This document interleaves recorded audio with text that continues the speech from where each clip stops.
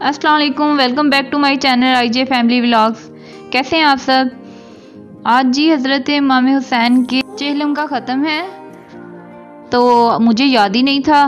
और सुबह जब मैं उठी हूँ तो मोबाइल में जब सिग्नल नहीं देखे तो मैंने पूछा, आज क्या दिन है ख़ास? कि आज सिग्नल नहीं आ रहे। तो जैन के बाबा ने बताया कि आज तो हज़रत इमाम हुसैन के जेलम का ख़त्म है तो इस वजह से सिक्योरिटी के लिए।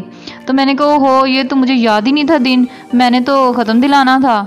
तो कहते कोई बात नहीं, फिर अभी दिला लेते हैं। फिर हम जल्दी से जाके ज़रूरी सामान ले आए और अभी जैन के बाबा ने फिर मेरी हेल्प करा दी और कहते कि चिकन मैं साफ़ करा देता हूँ, बाकी चीज़ें मैं कर लूँ। तो ये चिकन साफ़ कर रहे हैं। मैं फिर चावलों का मसाला तैयार करने लग गई, प्याज, टमाटर, सब्ज़, मिर्चें काटने लग गई। तो दोनों ने मिलके फिर किया और झटपट से काम होने लग गया। कहते, मैं हेल्प करा देता हूँ ताकि जल्दी जल्दी हो जाए। और फिर दोपहर को मैं न्याज दिला के और तकसीम करा के फिर मैं शो पे चला जाऊँगा। तो मैंने फिर बिस्मिल्लाह पढ़ के काम शुरू कर दिया। सारा मसाला जब तैयार हो गया तो फिर मैंने किचन का रुख किया। और ये देखें जी, मैंने प्याज काटी हुई है। अब जब भी मैं प्याज काटती हूँ, मुझे पहले तो पता नहीं चलता, जब मैं हांडी में डालने लग जाती हूँ ना तो उस वक्त मेरी नज़र पड़ती है कि मेरा इक्का दुक्का प्याज तो सलामत ही बचा होता है। मतलब ये कि कटिंग करने वाला होता है, फिर बीच में से आयल के निकाल के मुझे करना पड़ता है। तो मेरे साथ ये मोस्टली होता है। हंसप मामूल आज भी मेरे साथ ऐसे ही हुआ। जब भी ये मैंने चमचा चलाया ना तो दो तीन प्याज तो साबित ही निकल आए बीच में से।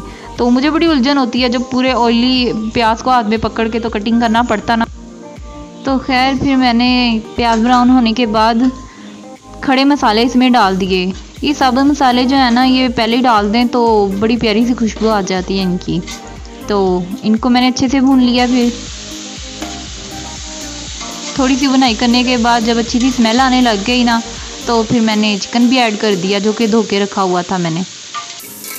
फिर चिकन को मैंने इसकी रंगत के बदलने तक खूब भुना, और जब इसकी हालत बदल गई तो फिर मैंने इसमें अदरक लहसुन का पेस्ट डाल दिया।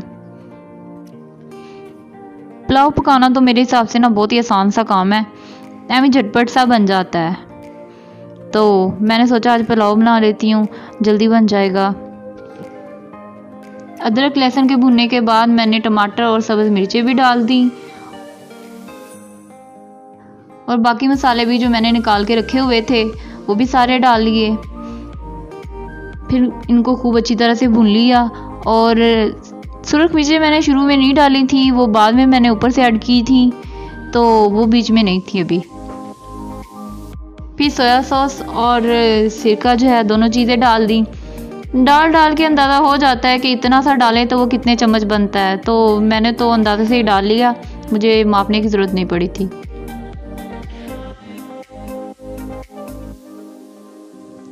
फिर चिकन को गलने के लिए ढक के रख दिया था धीमी आँच पे तो थोड़ी देर बाद मैंने देखा तो चिकन गल के तैयार था, फिर पानी डाल दिया इनमें। तो पानी को बॉईल आ चुका हुआ है और ये खूब जब पकने लग गया तो मैंने जो पहले से भिगो के चावल रखे हुए थे, वो इसमें शामिल कर दिए।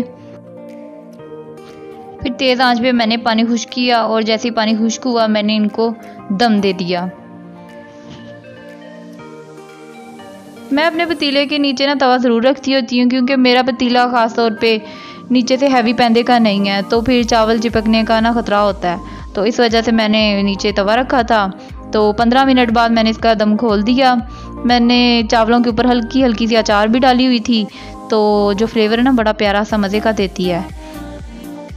तो ये देखें जी फाइनल लुक इसकी ऐसी है। दम खोलने के बाद हल्के हल्के से चावल मैंने हिला दिए, क्योंकि वो ना हिलाएँ तो एक जगह पे जुड़ जाते हैं ठंडे होने तक। तो फिर खुलते नहीं हैं और उन्हें खोलते हुए ना टूट जाते हैं बहुत ज़्यादा।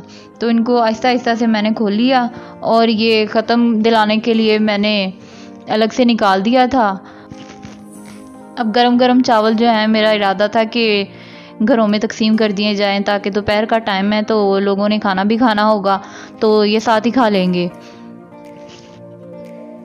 वैसे तो मोहल्ले में कोई चीज़ तकसीम करनी हो तो मैं खुद ही जाती हूँ, लेकिन आज जैन के बाबा घर मौजूद थे तो मैंने उन्हें कह दिया कि आप ही चले जाएँ प्लीज़ ताकि ना मैं घर को देखूँ और ज़रा आप बाइक का देख लें। तो वो मान गए और उनके पीछे पीछे ही दोनों जैन और अज़ीज़ भी चले गए। और जैन ऐसे कामों में ना काफ़ी आगे होता है कि बाबा मैं भी जाता हूँ, मैं भी देता हूँ। ये चीज़ अच्छी है कि बच्चे आगे होते हैं, यानी कि काम में ना आगे बढ़ चढ़ के हिस्सा लेते हैं। तो देखें, जैन साहब जो है वो घरों में जाके तो चावल तकसीम करता रहा है। और यही चीज़ें होती हैं जो बचपन की यादें बनती हैं। जिन्हें बड़े होके भी याद किया जाए ना तो खुशगवार सा एहसास होता है कि हम ऐसे ऐसे अपना बचपन गुजारते थे। फिर जो इनके पास जॉब करते हैं शॉप पे, उनके लिए भी न्याज के चावल भेज दिए मैंने। आज बाई चांस इनकी नानो भी आई हुई थी हमसे मिलने के लिए। तो उनके साथ मिलके फिर हमने न्याज के चावल जो हैं वो खाए। न्याज दिलाने पे आज वो मुझसे फिर बहुत खुश हुई कि अच्छी बात है कि मुझे ये चीज़ें करनी चाहिए और यही चीज़ें फिर हमारे बच्चों में भी आएँगी। क्योंकि मेरी अम्मी खुद से हमेशा एहतमाम किया करती थी ख़त्म न्याज वगैरह का।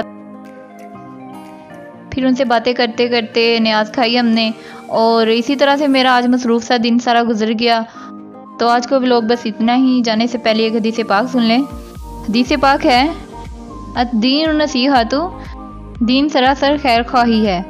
दुआ में याद रखिएगा, फिर मिलेंगे। अल्लाह हाफिज़।